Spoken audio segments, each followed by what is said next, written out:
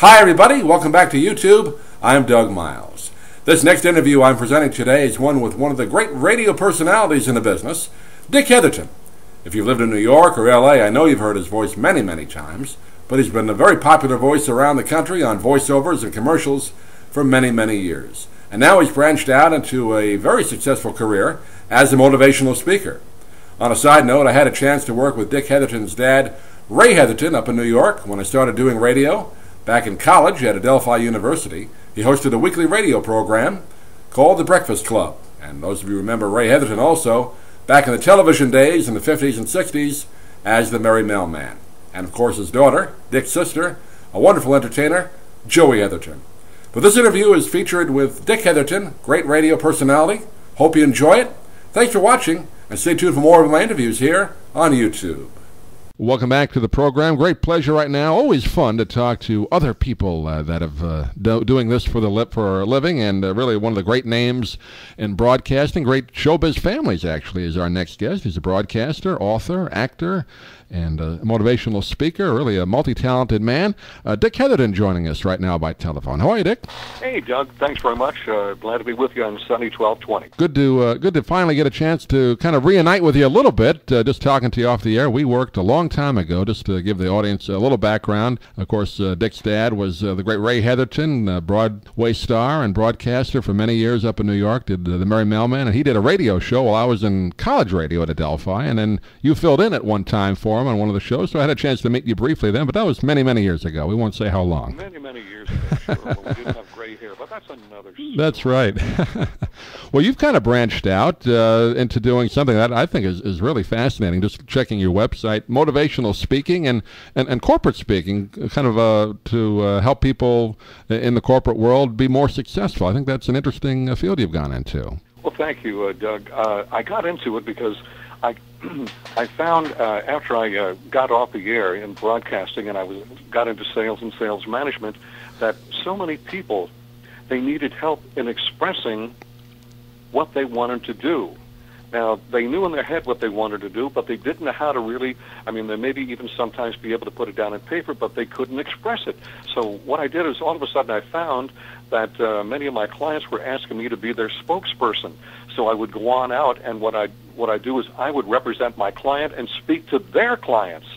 And uh, the next thing I knew, uh, one thing led to another, and so I've been uh, doing an awful lot of speaking, especially out here on the West Coast. And hey, who knows? Maybe even uh, pretty soon in the Sarasota, Bradenton area. And my my topic basically is success strategies for 21st century change. Yeah, we do a lot of segments on the program. We get a lot of uh, authors of business books or, or sales uh, strategy books, and I, th- I, think it's always interesting to to talk about that because uh, you know people tend to forget that you go into a store or a company and you know you're, you're dealing with customers. You got to be able to sell each one on not only your product but uh, but your business and you yourself. And and if you don't have that down, you're not going to make any money. Doug, you're right. You know, especially about selling yourself and just getting it away from the retail area. We all want change in our life, and you know we see the need for it all around us. However, when we get really get right down to it, we're scared of change. You know, no matter how bad our current situation is, just know that what we know, what we're experiencing, is infinitely more familiar and less fearful to most of us than what we really want, which is something we're unfamiliar with, and in many times we feel unworthy of receiving you've been through the wars like we talked about before, working in, working in the broadcast field. So you you've dealt with salespeople and, and different kind of management. So I guess that all kind of helped you when you decided to uh, to do this motivational speaking, right? Oh, very very much so. You know, and one of the one of the problems and the reason for my success strategies for the 21st century change is that many of us are afraid of what we want. In many ways, it's our own. You remember the Stockholm syndrome? Yeah. In many ways, it's our own Stockholm syndrome. It's like a self-perpetuating prison that we keep ourselves in. You know, I remember, uh, Doug, uh, oh, maybe about a year or two ago, uh, interviewing Dr. Joe Vitale. You may, may uh, know him from the movie The Secret. Right. As well as, you know, a lot of other books that he's published. And I remember asking him about a quote that uh, I had heard, which was, people respect wisdom, but only respond to pain. And when I asked him about it, he said, you know, that's only half right. He said, people respect wisdom, respond to pain as well as passion. And that's the, the part that people forget. You got to have a passion, you know, for what you really want. In fact, there was a study recently at the University of uh, San Francisco, and it all had to do with people who had gone through coronary bypass. And they found that after two years, those coronary bypass patients had gone back to doing everything they did two years prior, meaning their diet stunk, they didn't exercise, they were drinking, they did everything wrong. And you'd think, well, wait a minute, you know, come on, this is a new lease on life. What are you doing? So what happened is they found that when when you tell somebody now, if you if you drink and if you smoke and if you and if you don't exercise, you're gonna die. Hmm. Well, guess what? You know, at first you say, yeah, hey, please, I want to live. But after a while, it's like, well, what am I doing? I mean, if this is all there is, what good does it do? Hey, I might as well go back and you know have my pizza, you know, have a have a pastrami sandwich, you know, do whatever I want. However, they found that as soon as you portrayed your recovery in a sense that here's an idea. Why don't you try this? How would you like to be able to really live your life, enjoy your life, you know, have a wonderful relationship with your wife, uh, romantically as well. You know, enjoy your friends, travel, do things. And the best way to do this is by eating this, you know, and doing that. By emphasizing the positive, people were able to affect that change and stick with it. That's what part of the change is all about. And that's what I try to talk about, you know, the success strategies for 21st century change. You know, so much of what, we, what we're all about is, is fear. In fact, it seems that fear is the faith that something won't work out. You know, and the one right. thing we need to do is find out, you know, how do you feel? What do you want? Now, this is not, you know, some big California, oh, wow, it's how you feel. Yeah, but wait a minute, it is part of, you know, how you feel. You know, so often we are just so, uh, hey, I hope you don't mind. I'm no, no, this is Doug, I'm just good stuff. On. Uh, you know, because I really believe this, and I've experienced this myself.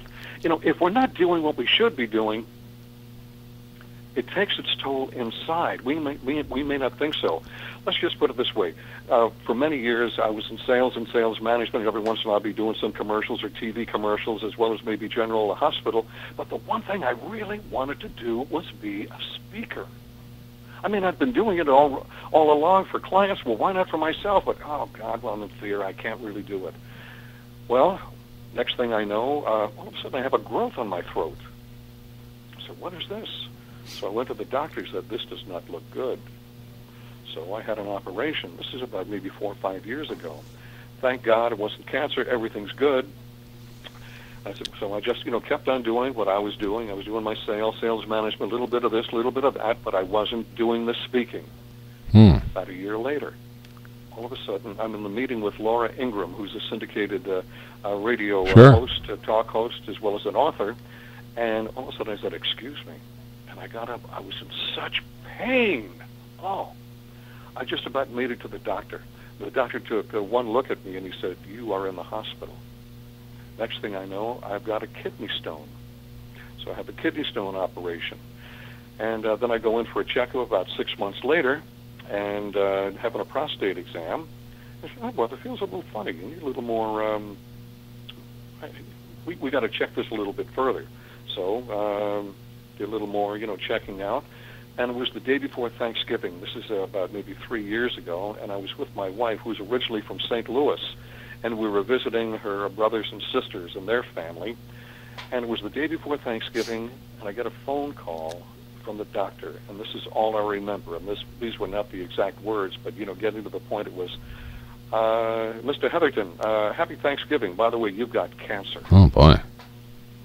I have prostate cancer.